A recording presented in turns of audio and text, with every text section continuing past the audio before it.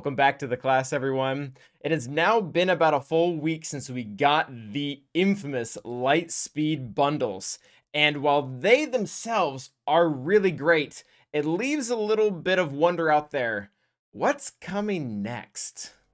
So today we are joined by none other than the Nooch himself to talk about this topic because Nooch, as many of you may know, has a really great audience, and a big part of that audience are people who are in the mid game, typically already missing a lot of Galactic Legends. So, Nooch, how are you doing today? It's great to see you, Calvin. I'm doing great, man. I'm glad we. It's been. Uh, it was funny when when I looked up or we looked. You, it's been over a year since we talked, and I think yours is one of my first collabs in this the sound was anyway. It's good to see you. It's good to be back with you, buddy. Yeah, it's good to be back here. If I remember correctly, the last time we got together, we talked about Phoenix, and I don't, I don't think Krex was anywhere near in anyone's imagination at the time. So it has been, it has been a minute. Yeah, we thought uh, we thought that Rex was blowing up the game in a big way, right? Uh, little did we know what was coming down the road. Oh yeah, oh yeah. Uh, so yeah, as previously mentioned in our intro, the Lightspeed bundles they've come, they've changed the game forever. I guess just in a quick summary, what's your opinion? And obviously, you've ha had and you haven't had a range of accounts in various different places. What is your overall take on them? Do you love them? Do you hate them? Do you think they could do better? I love it. I, I I think it's great for the game. I you know um whenever you can make the game more accessible to people, that's really good for the players um, whenever they can make money on the game, that's good for the health of the game. You know, I always say people that want to complain about whales, it's like, well, you would not have a game if people weren't whaling. So, and and I think the game's been floating around along. I've been watching it, you know, six, seven million, six million, seven million for a long time now. And you're talking about a billion dollar game that's used to making more like 15, 20 million a month. And I I think they're gonna hit those right right back up to the top of the heap again with this. But as far as like, I mean, I when I do roster reviews now, and I do I do them a lot, I'm seeing 80% of the people that are asking for roster oh. reviews. Oh. Um, and even I'm even seeing like 70 to 80% of the people that just throw their name out there and I pull them out of a hat, have this done. Um, the only place that I see it lacking is like in the general community. It seems more like 30% across the board. But yeah, everybody's buying this thing, man. Okay. Everybody yeah, from a value perspective, we ran the math on it when they very first came out, and it's not even comparable. It, it's yeah. not like two or three or four or five times better than any other deal out there. It's up somewhere between 100 and 150 times. It, it completely blows everything out of the water.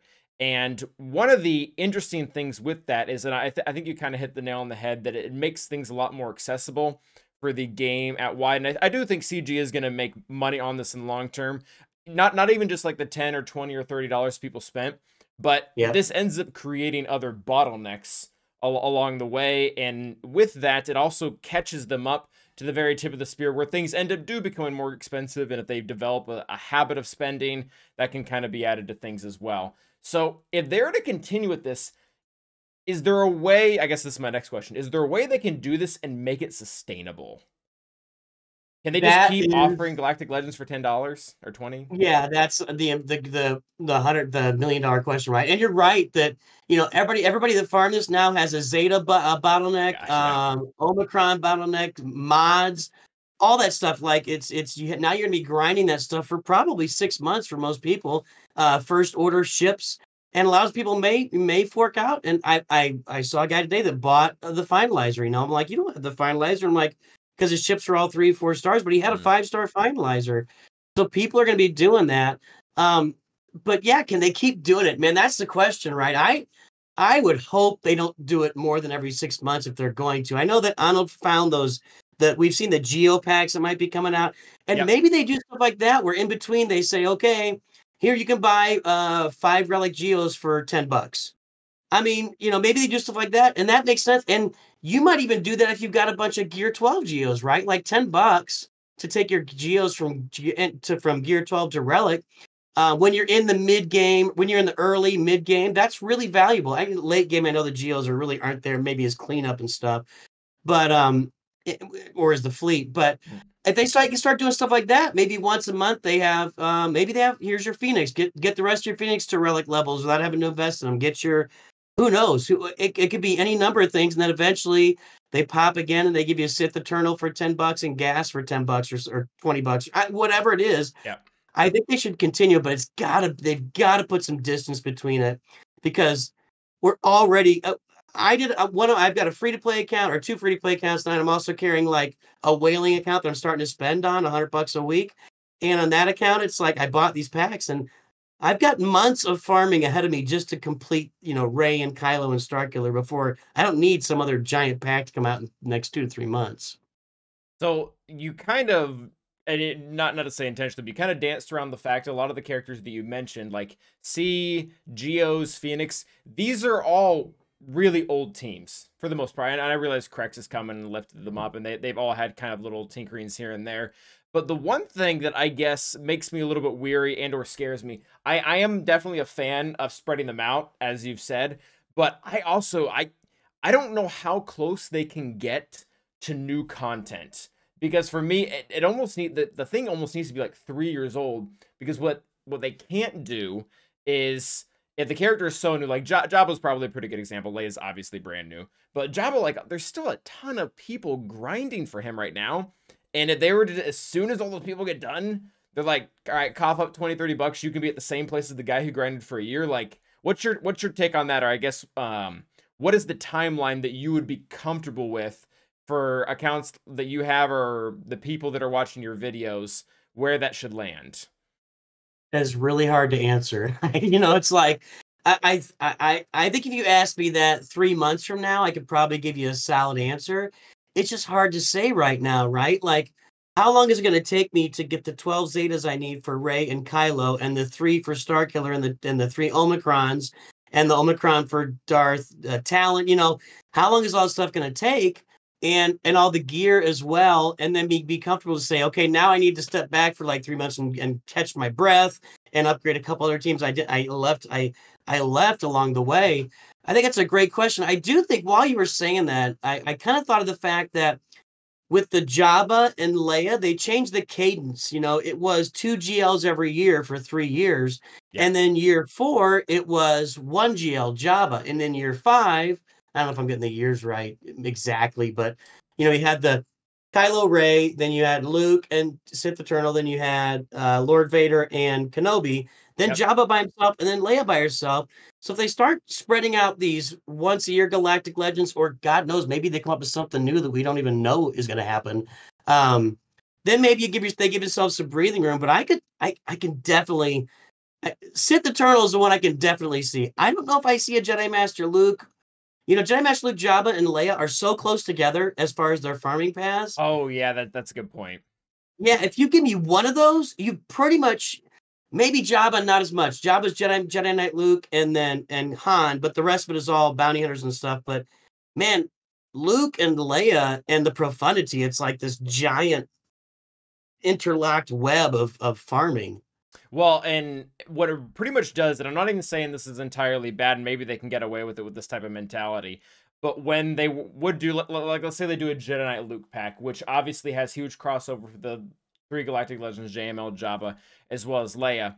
But at, what it would pretty much do is it would turn the Leia and Jabba farms into essentially buy these packs for 20 or 30 bucks or whatever, and then do the same amount of work that you would do to take Aphra. Because at that point, for those two Galactic Legends, you're missing the three or four new marquees that are all not accelerated. They're all really heavy on Kyro and whatnot, which will be the same as going after Aphra or Star Killer when they first came out. And that's essentially what the be. And I don't, there, there's probably still a lot of money in that because that's almost seems can be uh, to what they did with Leia recently. Most of Leia's requirements outside of the marquees are cupcakes. Like they're either characters yeah. you probably would have done for another character. The character is already good itself, like CLS, or just isn't that high of a relic level, like Wicket and Chirpa at R3. I mean, I agree with that. A lot of people, you know, you had people had their Ewoks at gear 11. Some people even gear 12 and stuff. Yeah, I mean, I'd love to be able to predict future. I, th- I think the biggest, I, I think that Capital Games might even be in a wait and see mode. Like, hey, let's drop a bomb and then let's wait and see how the dust settles, right? Like, can we do this in three months? Can we do this in six months? Do we wait till May the fourth? Do we do it once a year? Do we do the do we do the same packs on May the fourth? Do we do a we do a new pack? Do we do like a Sith Eternal and gas kind of combo? You know, next year. I think they might. I, I'm not sure I can. I, I'm not sure I can. I can think of a way that that Capital Games could look at this and say, okay, if we do this, here's exactly what's going to happen and and this might be just some kind of giant experiment from them to see hey we're about to release relic 10 let's go get that done which i think is just obviously going to happen.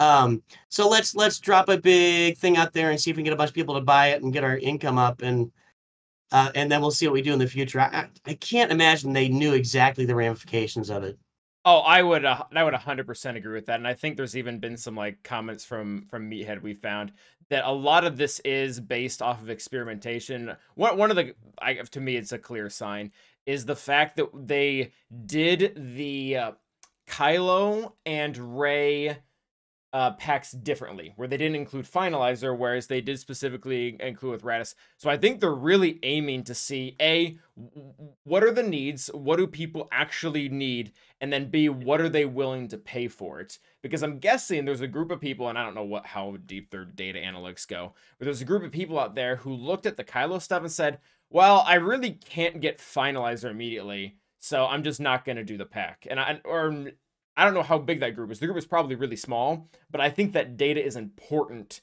to CG so that they can know yeah. what to do going forward, whether or not they need to release uh, several packs that get you full completion to the Galactic Legend, very similar to Rey, or if they only want to do partial things. Well, if you look at that, you know, for however many years now, ever since Kylo came out, we've all said he's your number one Galactic Legend. Go get him. You know, with some variants, but it was like, hey, here's Kylo. He does all the raids he's the best bang for your buck. If you're going to go get a first Galactic Legend, get Kylo, then you can get our stuff. So I think maybe part of that was here's a $10 pack. We'll call it the BB-8 pack, but it's really the, the SLKR pack.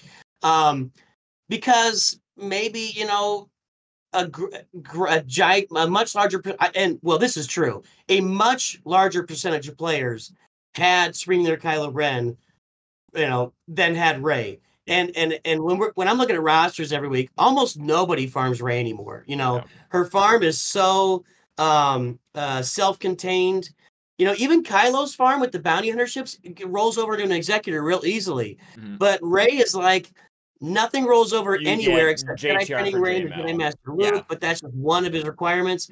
And then and the Houndstooth and everything else is only Rey, you know. So nobody really farmed her, and she kind of became just like this poo pooed on Galactic Legend. So hey, I, I, guess they found out that they can charge 40 bucks for Rey and the whole world will buy it. So it, which which is really what happened. So maybe they put that go maybe maybe they bring in a finalizer pack in in three months, you yeah. know? I mean that'd be genius, right? Oh, kind of genius. Maybe people get mad because they've been farming those ships the whole time by then. But you know, you bring in a finalizer pack to build on that too. Um, I, man, it would be nice I, to have solid answers. I do, uh, and I'm sorry if I'm talking too much, just cut me off, but I do know this for free to play players right now. It's it's tough. It is tough. I took in. I have an account. I'm I'm rushing. Uh, I'm rushing for a job. I just see how what it's like free to play to get Jabba the Hutt since all the changes back in May. And I went to Grand Arena today, and the guy I was playing against had bought the packs, and he threw them on the front line it's like they didn't have any mods, but it's still Relic Five characters, and oh, I got yeah, like I mean, you know, gear nine and ten Imperial Troopers. I almost beat them actually. If you go watch the the stream, it was awesome. But um, yeah, it, the and Fleet Arena is completely blown up. You know, you people that bought that Raddus pack, if you're in a new Fleet Arena or a Fleet new Fleet Shard, it's gone. You can't get there free to play anymore. You're you're done. And it, it'll flush out if they don't release another pack. So it, it's really upended the game for free to play for the time being, and, and it the game ebbs and flows. So we'll have to see how long term how that shakes out for the free to play players. Yeah, it does add an interesting element because it's it's a in this way I think it's pretty similar to the hyperdrive bundle where if you don't immediately like when it's fresh out, if you don't immediately go after it, there is a huge distinction between you and the player that does. Um so I think that's probably worth mentioning. But yeah, I, I do I, I do see what you're saying. But uh, just because we're running a little on time, would you be okay with say like just summarizing, we're very much for the Lightspeed bundles, but I think time as well as um distance between them as well as time of the characters coming are two really important things that if CG were to be watching this video right now, they need to take into consideration. I think 100%. And I, I don't know if you'll see a finalizer, but everything you said is right. You know, the time, and I wouldn't be shocked if we start seeing like Zeta bundles and Omicron oh, bundles yeah. and oh, oh, heck, Omega bundles. Nobody's gonna have enough Omega. We don't have enough Omega mod bundles, all that stuff. Maybe you see some giant ones. Those coming out 10, 15, 20 bucks in the near future. Oh, the, the Zeta one's a thousand percent. I, I, I think we both talked about this where people, most people had a, a, system built into place every time they farm a character, they get a Zeta, and now all of a sudden they need twelve and they they don't have it and they don't have a, a place to get it outside of their normal means. So yeah, yep. definitely, definitely something that I think we'll be seeing. But Nooch, before we do go, would you like to tell everyone where they can find you, what you're all about, what you got going on? Sure, man. Hey, just uh, look up Nooch Too Good on YouTube. Um, you know, uh, you may have seen some of the shorts I published. That's really kind of what's brought the channel to the forefront is bringing out shorts every day um, through the game. But we really focus the channel on new, early, mid gamers. I got a bunch of beginners guides out there, which the game actually, believe it or not, there's not there were not a lot of beginners guides out there. And so I kind of found that as a niche. So uh, the, a big part of my audience is those new, early beginning, mid, mid to late gamers. We're starting to branch out into doing a little whaling on the channel, so we're starting to, to even move forward there. But yeah, Nooch too good. You could probably do a little Star Wars dad search and find me as well. But uh, hey, it's good to see you today, Cal. We got to get together again. Yeah, no, it was great. It was great having you on. We do need to do more stuff, both both on my channel as well as yours. And for those of you who want, you can also just take down the description. We'll have Nooch's channel linked in there. But until the next time, guys, thanks for watching. And as always, stay awesome. You